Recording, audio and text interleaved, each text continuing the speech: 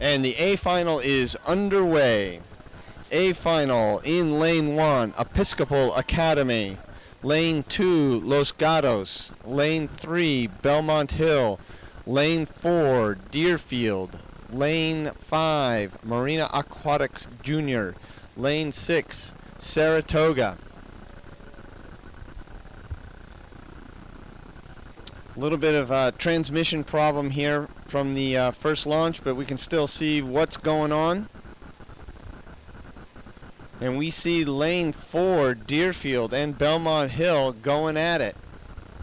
Looking at Saratoga right here, and next to them is Marine Aquatic in the uh, maroon and blue. But Saratoga right here in the dark blue. Those two are trailing the rest of the field, looking over Episcopal in lane one, and closer to us is Los Gatos in the white. And then up to our leaders, who are just a half, three quarters of a boat ahead, Belmont Hill and Deerfield. At the 500 meter mark, it's Deerfield in first place with Belmont Hill in second. And right on their tail is Marine Aquatic, Saratoga, Episcopal off the pace just a little bit, but Los Gatos is right with them as they move through the 500. In the A final of the men's four here in Tennessee. So it looks like Saratoga is falling off the pace a little bit. Marine Aquatic ahead of them a little bit. Episcopal on the far side, maybe fourth. Third right now would be Los Gatos, and it is a battle for first place between Deerfield and Belmont Hill.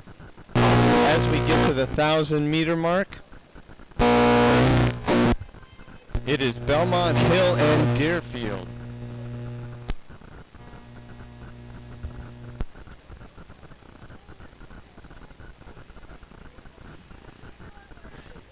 Excitement continues to build here at Melton Lake in Oak Ridge, Tennessee, as these youth national championships continue towards the finish line. Here is the championship final for the men's four.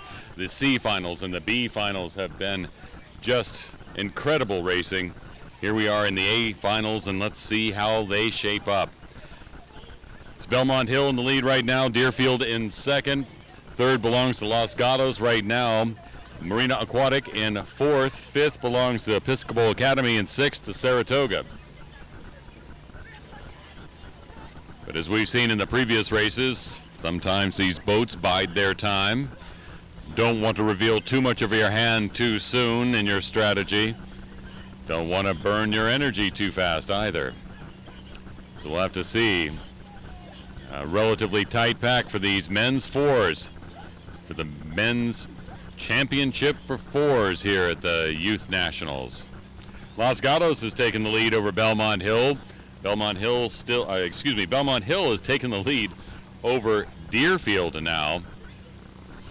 Los Gatos remaining in third, but beginning to uh, push themselves forward. And meanwhile, a fight for fourth between Episcopal Academy in lane one and Marina Aquatic in lane five. And Saratoga not out of it either. They're beginning to move forward along with the other boats. But it does look like it's Belmont Hill trying to assert themselves in lane three for the lead, trying to claw their way forward past Deerfield. Deerfield remaining right in there, though, with them. But still a lot of water between here and the finish line. In this A final, the championship final for the men's four, the 2012 Youth National Championship Regatta. Belmont Hill in the lead, Deerfield right behind, Los Gatos in third, perhaps just vulturing that spot, but we'll have to see. As the meters begin to count down towards the end of this 2,000 meter race, these crews will begin to pour it all out. Fourth, still a fight between Episcopal Academy and Marina Aquatic Juniors. Sarasota, uh, Saratoga, excuse me, still trying to remain in the fight, but they're in sixth place right now. But really, uh, Belmont Hill, despite their efforts, are not drawing away from Deerfield, nor are they drawing away from Los Gatos. But we'll have to see because now they are inside of 500 meters to go. towards the finish line. Here's the championship on the line. Who will get the gold medal in the men's four?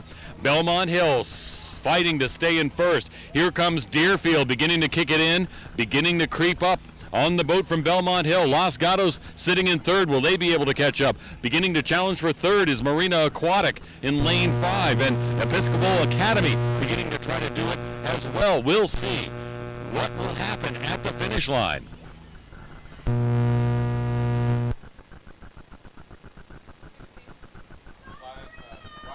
Belmont Hill hanging on to that lead just barely. Los Gatos next to them there you can see their closest competitor which is Deerfield trying furiously to get into that lead that Belmont has established over that last uh, 750 meters or so and it looks like they're starting to do it. Deerfield is pushing into that lead of Belmont Hill. Belmont Hill may have uh, expended themselves a little too hard in that third 500 and now Deerfield is starting to go through them. This is going to be a great finish. Belmont Hill cranking it up. Deerfield cranking it up. They only have about 10 strokes to go to the line, and it looks like Deerfield is going to be, oh my goodness. It is Deerfield over Belmont Hill, but who's going to get the bronze?